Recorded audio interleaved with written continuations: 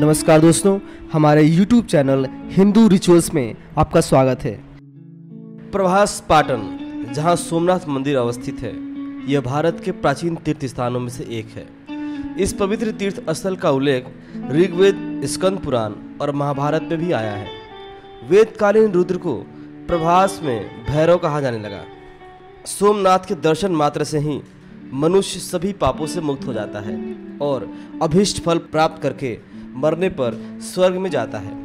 आइए जानते हैं सोमनाथ के धार्मिक पृष्ठभूमि के बारे में। कहा जाता है कि सोमनाथ मंदिर जगत की उत्पत्ति जितना पुराना है। पुराणों के अनुसार दक्ष प्रजापति की 27 कन्याएँ थी और सभी का विवाह चंद्र के साथ हुआ था। रोहिणी सभी बहनों में सुंदर थी और चंद्र के उसके प्रति विशेष आसक्ति थी। यह जानकर शेष सभी बहनों को बड़ी ईर्ष्या हुई और उन्होंने इसकी शिकायत अपने पिता दक्ष की। उनके पिता ने चंद्र को समझाया, किंतु चंद्र ने उनकी एक न सुनी। इस पर क्रुद्ध होकर दक्ष प्रजापति ने चंद्र को राज यक्षमा से पीड़ित होने का शाप दे दिया। फलस्वरूप चंद्र की शक्ति दिन प्रतिदिन छीड़ होती गई। यह देख सब देवताओं ने मिलकर चंद्र को दिए गए शाप वापस लेने के लिए ब्रह्मा से अनुरोध किया। ब्रह्मा ने कहा कि मैं दक्ष का दिया हुआ शाप तो वापस नहीं ले सकता, लेकिन शाप मुक्ति का उपाय बता सकता हूँ। उन्होंने चंद्र से कहा कि वह प्रभास क्षेत्र में जाए और शिवलिंग की प्रतिष्ठा कर तपस्या करे। प्रभास में चंद्रमा ने शिव के काल भैरव रूप की बड़ी लगन के साथ तपस्या की और जब शिव प्रसन्न हुए तो चंद्रमा ने वर मांगा कि वे अपने भक्त चंद्रमा के नाम से विख्यात हो।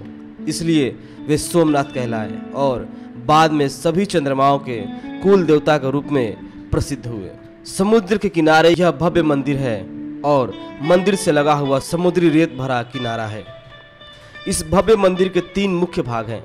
बाहर की ओर दो निची छत वाले मंडप है, जिनकी छत पर विशेष शिल्प कला है। इसके नीचे हज़ारों यात्री भ्रमण करते हैं। दोनों मंडप के पश्चात एक सात मंजिल वाला मंदिर है, जहाँ सोमनाथ शिव का विशाल लिंग स्थापित है। यह शिवलिंग लगभग सात फीट ऊँचा काले पत्थर से निर्मित है। शिवलिंग के पृष्ठ भाग में अनेक देवी देवताओं की मूर्तियाँ विराजमान हैं। शिवलिंग के सामने बाहर के प्रांगण में नंदी की एक बड़ी प्रतिमा है।